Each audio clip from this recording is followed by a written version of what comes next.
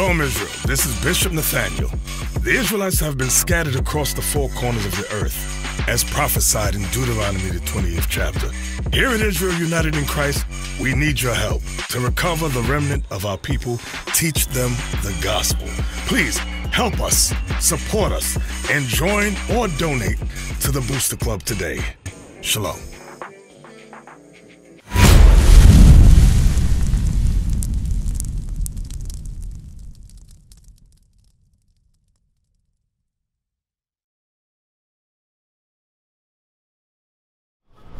Because you know what we like to do, sister? We like to go all up and down the street, parade, parade, parade, and fest and fest and fest. That's all we want to do. We want to we want to live in festivities. But guess what? The reality is that our sons getting shot down in the streets. The reality is that our daughters getting uh, kidnapped. The reality is that Christian the Christian church is not finna save us. That's the reality. Read what you got for me. The book of Psalms, chapter 40, verse 8. I delight to do thy will, oh my God. Yea, thy law is within my heart. My brothers, my young princes, my brothers, the will of God is the laws of God. You know that? We have to come back to the laws of God. That's the only thing that's going to change the black community. That's the only thing that's going to build up the black and Hispanic community. You understand me? Voting does little to anything to change the black community. You want to say what's going to change our community? What's going to change our community is keeping God's commandments. Keeping God's law, statutes, and commandments. Give me the book of Acts chapter 3, verse 19. How you doing, lovely sister? I want you to understand that what we out here teaching, we are out here teaching blacks and Hispanics are the Israelites, and we must keep God's law, statutes, and commandments to enter to the kingdom of heaven. Read what you got. The book of Acts, chapter 3, verse 19. Repent ye therefore and be converted. God commands us to repent and be converted. To repent and be converted. Do y'all know what it means to repent? My little sisters, do y'all know what it means to repent according to the Bible? Because this is what the Bible says. Read. Repent ye therefore and be converted. Each and every one of y'all are commanded to repent and be converted back to the laws of your God. That's right. Because God gave us laws. He said, thou shalt not kill. Thou shalt not commit adultery. Thou shalt not steal. You're repenting as you stop sinning and you coming back to these laws. That's right. You understand me? Read. That your sins may be blotted out. See that? That your sins may be blotted out. Give me the book of 1 Timothy chapter 2. I want verse 9. Let's start there. We're going to read all down. I'm going to show you a sin that we love to do with our baby girls. Because as men and as fathers, you're supposed to be protectors of our community. You don't let your daughter walk around and parade herself half naked. That's right. Why? Because there's pedophiles out here. There's rapists out here. That's right. Read what you got. The book of First Timothy chapter 2 verse 9. Y'all, I need y'all to listen very closely. Read. In like manner also that women adorn themselves in modest apparel. See that this law of God is going to protect you women from any harm. God said that women shall adorn themselves in modest apparel. Modest apparel is clothes that's not showing your body shape. That's right. Not showing your thighs. Bring it out. Not showing your breasts. right. Not showing anything that belongs to your husband. Right. Because one day, you young ladies will get married. And that's why God said this. Read that again. In like manner also that women adorn themselves in modest apparel. Bring it out. God said that women got to adorn themselves in modest apparel. And it start with the older sisters. You older ladies, y'all got to teach the younger ladies how to dress, how to walk, how to talk, how to conduct themselves in society. Bring it out. You understand me? What men to avoid. Because every man out here is not a good man. Just like every woman out here is not a good woman. So this is what the Bible says. Read that again for 'em. In like manner also that women adorn themselves in modest apparel. So when you leave the house, the clothes that you put on gotta be modest. You can't be showing your body out here. Because you're gonna incite the wrong type of man towards you. Read on. It out. with shamefacedness and sobriety. Read that part again. Stay with me. With shamefacedness and sobriety. Women are supposed to be shamefaced and sober. Sober. Don't worry about trying to act up. Don't worry about trying to get drunk, have a hot girl summer. No. Women are supposed to be sober with shame face. Now we're going to switch topics. Now we're going to deal with salvation. We're going to find out is voting for anybody in any district of any city going to save us? Give me Luke chapter 1. Uh, I want verse 68. We're going to start on down. Luke chapter 1, verse 68 on down. Come on, read what you got for me. The book of Luke, chapter 1, verse 68. Bring it out! Blessed be the Lord God of Israel. First thing, y'all gotta acknowledge that y'all are not blacks, Hispanics. You are the Israelites the Bible speaks of. Yes, said, blessed be the Lord God of Israel. Read. Blessed be the Lord God of Israel, for he has visited and redeemed his people. See that? The Lord God of Israel shall redeem us as a people. Not voting for anybody in any district of any city. Not voting for Democrats, not voting for Republicans. What's going to save us is the Lord God of Israel. That's right. Because you have to understand that the condition that we are in is a spiritual condition. Bring it out. God allowed this to happen because we broke his laws, statutes, and commandments as a people, as a whole. So the only way to come out this condition is to keep his laws, statutes, and commandments as a people, as a whole. It's just that simple, it's just that plain. What divided us up into different political institutions, different religious Right. institutions, is our enslavement here in America. Bring it out! You understand me? All we doing is continue to playing on playing the same sports game, playing the same political game. That's not gonna save us. This is what's gonna save us. Read it again and then read on down from there. Blessed be the Lord God of Israel, for he has visited and redeemed his people. See that God promised that He gonna visit and redeem His people. Do you know y'all sisters, y'all are the Israelites the Bible speaks of? Bring it Bring it out. out! Brother, you know that according to the Bible, we are not blacks and Hispanics. We are better than what we've been thinking out here. That's right. A lot of us have low self-esteem. A lot of us don't believe in God because we say, you know what, we've been here for so long. God ain't finna save us. We gotta save ourselves. Bring it up. You are partially right. We do have to do have to do some type of action, but that action is only predicated if it's according to the Bible. That's right. You understand me? Read on. and hath re- raised up a horn of salvation for us in the house of his servant David. Now David was a black man that ruled over the Israelites. That's right. He, King David was a black man that ruled over the 12 tribes of Israel. Right. Which 12 tribes you are. If you are an American black, a so-called African American, God said you from the tribe of Judah. That's right. Bring it out. If you are a West Indian black, you live in any island of Jamaica. Uh, give me some more islands. The uh, West Indies, the Bahamas, guys, Trinidad, Tobago. God said you are from the tribe of Benjamin. Bring it out. If your daddy is from Haiti, you are from the tribe of Levi. If any of y'all are Mexican out here, God said you from the tribe of Issachar. There's 12 tribes. We all was divided up during slavery. That's why we don't know who we are. We don't know where we going. We don't know what we doing. Why? Because our, histor- our history has been cut off 400 years ago. But the Lord God of your fathers promised that he would visit and redeem you. That's Read. As he has spake by the mouth of his holy prophets. Because that's what separates this book from any book here on the face of the earth. This book is the words of the prophets. That's right. All the prophets spoke and prophesied of your downfall. You think it's a coincidence that we here in Chicago, Section 8, gang banging, no, fa- no fathers in the household? Bring it out. Half of us, half of us is drug addicts.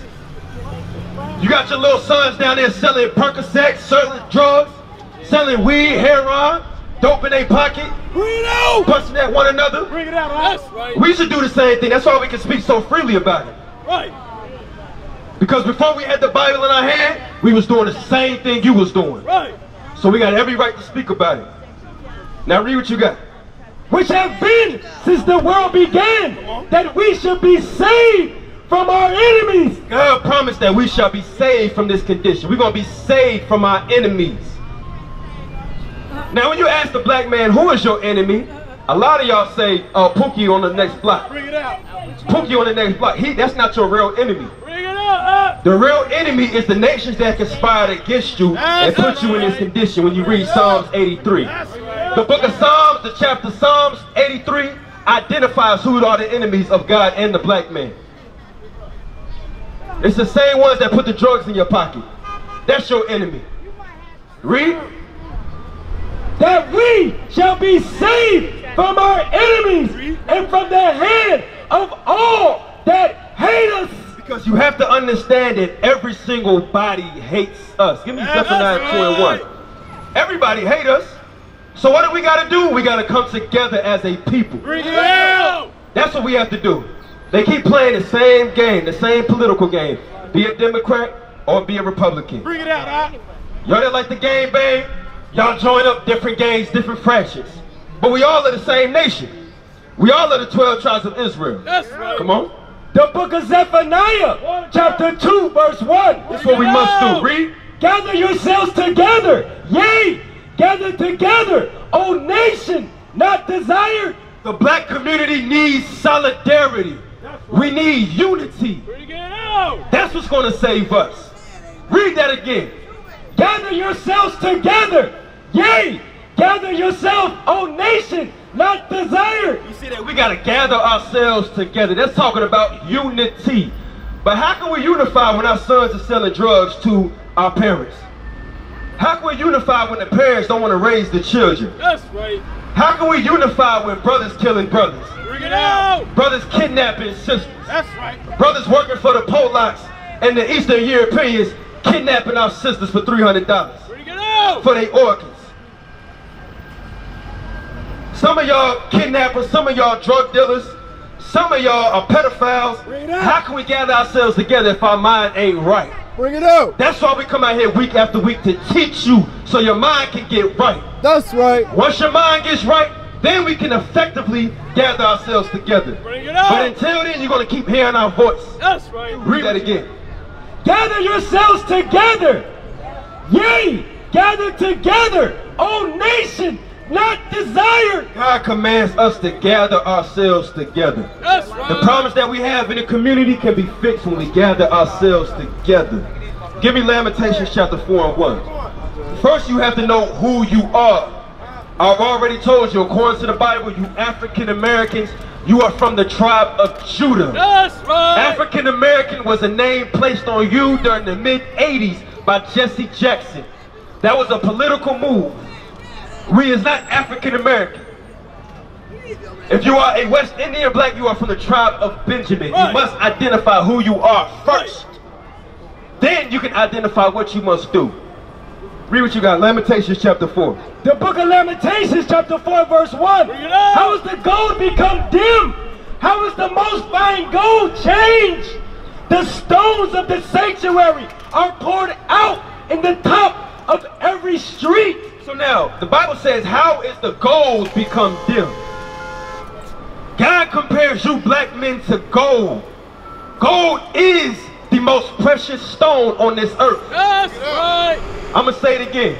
Gold is the most precious stone on this earth. Likewise, you so-called black men, y'all are the most precious people on this earth. That's because you are made in the image of God, That's a black man. Hold uh, Isaiah 13. But we don't understand that. Now read on. The book of Lamentations, chapter 4, verse 1. Bring it out. Read verse 2. Verse 2 The precious sons of Zion, com- comparable to fine gold. Now read that part again. I want y'all to see what God calls y'all. Read. The precious sons of Zion, comparable to fine gold. Y'all out here gang banging. God said you are the precious sons of Zion, comparable to fine gold. Comparable to fine gold. But because you hate your God, you hate yourself, you sell drugs to a brother that look just like you. Because you got self-hatred in your mind. You hate your image. Bring it You got the white man still in your mind 400 years later. That's why we walk around with low self-esteem, sagging our pants, selling Percocets to our people, because we think nothing of one another. It ain't nothing for me to lay you down and slide on you, because why? Because I hate myself. Y'all brothers hate yourself. Bring. And you have to first acknowledge that in order to change. Right. Read that again.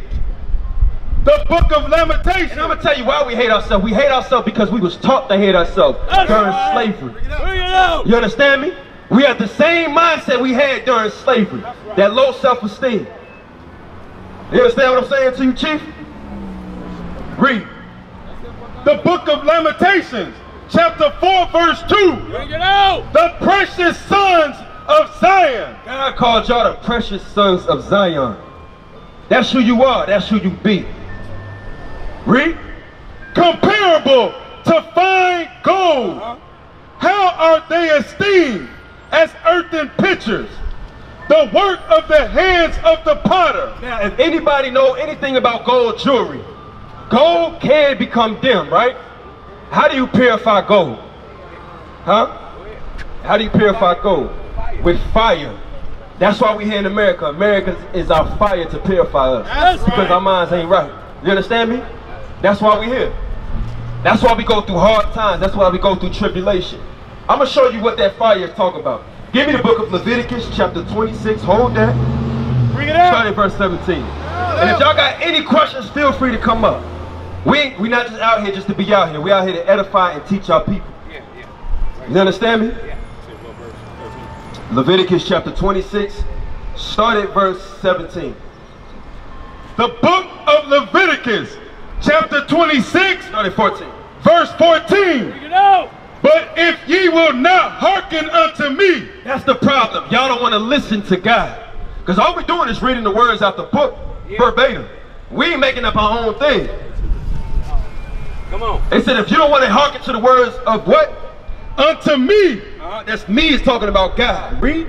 and will not do all these commandments, and if ye shall despise my statutes, or if your soul abhor my judgments, so that ye will not do all my commandments, See that God gave us commandments. He didn't give us religion. Right. He didn't say be a uh, Christian, be a Episcopalian, be a Muslim, Right. be a four corner hustler, Right. be a gangster disciple. Right.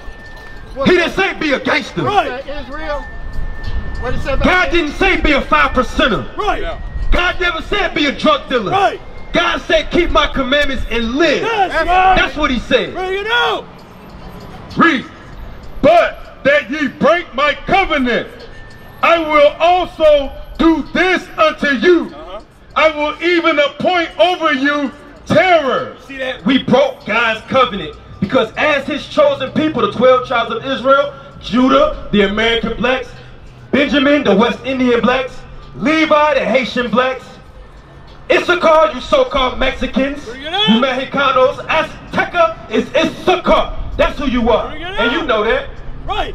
You Puerto Ricans, the tribe of Ephraim. That's We right. broken God's covenant. Bring it out. God said he will appoint over us terror. That's that right. terror is, as we know today, is America. Right. Bring it out. That's why the police shoot you down in the streets. Teach us. Because God said he will appoint over us terror, meaning terrorists. Do y'all know that the real people committing the most terrorist activities is white men? Bring it Is white men. Do you know that? Like for example, a couple weeks ago in El Paso, a white man walked into Walmart and did what? Killed a whole lot of God's people, the so-called Mexicans. Why? Because read that again. I will also do this unto you terror, consumption, God said he will appoint unto us terror. What happened to El Paso was terrible. What happened to Trayvon Martin was terrible. Right. What happened out there in uh, Ferguson was terrible. What about up the street on Cicero, Laquan McDonald? What happened to that young man was terrible. The charge they give y'all brothers for selling drugs, even though they give y'all the drugs, is football numbers. It's super terrible. Three strikes and you out. Ain't nothing worse than that. You living but you dead. You dead in the prison cell. That's really terrible.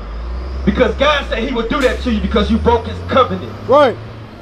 read, but that ye break my covenant, uh-huh. I also will do this unto you. I will even appoint over you terror, That's the society, terror, consumption, and consumption. Read. and the burning of ague that shall consume thy eyes. Talking about diseases, afflictions, STDs. The highest report of HIV amongst us is who? The so-called Israelites, these people on this side, the 12 tribes of Israel. Teach us. We always being consumed. Read. and cause sorrow of heart. Ain't nobody more sadder than us. We always crying. What that say? We always crying out here. God said he will cause sorrow of heart. Do y'all know an hour ago somebody passed us a flyer of they missing family member? Ain't that right, man? They gave us a flyer of they missing family family member. We always going through uh sorrow of heart. Read. And ye shall sow your seed in vain, for your enemies shall eat it. All right, call that and read that, man. Second Esdras chapter 15, verse 24. Bring it out. Woe to them that sin. I got you. Yeah, I'm gonna ask you a question. I'm gonna ask you a question. Be careful. Watch your step, all right? But I want y'all to hear the word of God while you can. Listen, all right? In the meantime, look at the signs. Huh? Take her hand. I shook her hand. I shook her hand. Listen. Come on. The book of Second Esdras, chapter 15, verse 24. Bring it out. Woe to them that sin and keep not my commandments. The word woe means destruction. God is very serious about his commandments. God is very serious about his commandments. He said, destruction to him that keepeth not my commandments. Read that again. Woe to him that sin uh-huh. and keep not my commandments. See that sin is not keeping God's commandments. Yes. So when you go to the pastor and say, what is sin? The answer's in the Bible, not keeping his commandments. Read. Saith the Lord, I will not spare them. Uh-huh. Go your way, ye children, from the power. Defile not my sanctuary. And that's why the Lord kicked us out of our homeland. Because we was defiling our sanctuary. Read.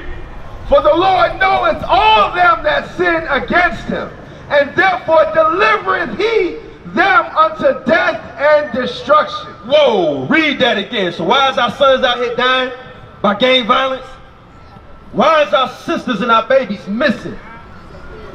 Because of sin. Everything goes down to sin. That's right. That's why it's very important for you to read and learn the commandments so you can avoid sin. That's right. You understand me? It's up to every individual to do that. Yup, and like like the brother said, it's up to every individual to do it. Hey, I did it. I ain't trying to go out like that. That's right. I don't know about y'all, but this life ain't a life for me. I want that real life, Bring that eternal life. You feel me? That's why I'm doing what I'm doing. That's why I put the gun down, put the drugs down. Stop messing with these women out here. That's why I put the Bible up and started keeping the commandments. Read. For the Lord knoweth all them that sin against him. Ain't not near one of y'all hiding from the Lord. He said he know all of them, each and every one of y'all that sin against him. He know y'all. Y'all, a lot of y'all like to say, "Oh, God know my heart." You damn right, He know your heart. He know how wicked your heart is. That's right. Read. Now. and therefore delivereth he them unto death and destruction. And He said, because you sin and you are unwilling to change, He's going to deliver you to death and destruction. That's right. Death and destruction. Look around. Look at our living conditions. This is very destructive. The black community, we have become self-destructive. Bring it out. Meaning at first it was a nation that brought us Right. off the shores of Africa. Right. The Portuguese, the British, the English, the Dutch, the French, the conquistadors. They enslaved us and brought us here. So-called white men and the Arabs. They brought us over here and destroyed us. But now the system of destruction is self-operating. We are self-destructive now. Ain't nobody forcing you to bust that gun. Ain't nobody forcing you to sell drugs to your people. Ain't nobody forcing you to do what you do. You doing it because your mind ain't right. Your mind is destroyed. Bring it out. Read. Verse 22. My right hand shall not spare the sinners, and my sword shall not cease over them that shed innocent blood. See that when y'all sell drugs to your people, you shed innocent blood.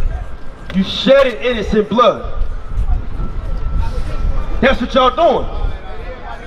Y'all brothers, y'all out here shedding innocent blood. That's my buzz, Joe. A lot of y'all see y'all out, you shoot at him and miss him and shoot the baby up, man. You shed innocent blood. And that blood is on your hands. We used to scream black power while Heron was pushed.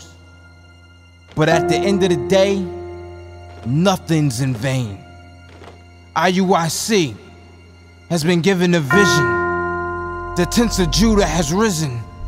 Many has attempted the mission. Minor murmuring, omitting, and missing the mark. Just reading that he had the flame of fire in his eyes gave us the spark. We on Paul's mission. We out on the road. Purple and gold from Mexico, Cuba, Haiti, Ghana, Sierra Leone. 144,000 boots banging, concrete crackling. These are how our men repented at heart. The scriptures is proof. IUIC, we deliver the truth.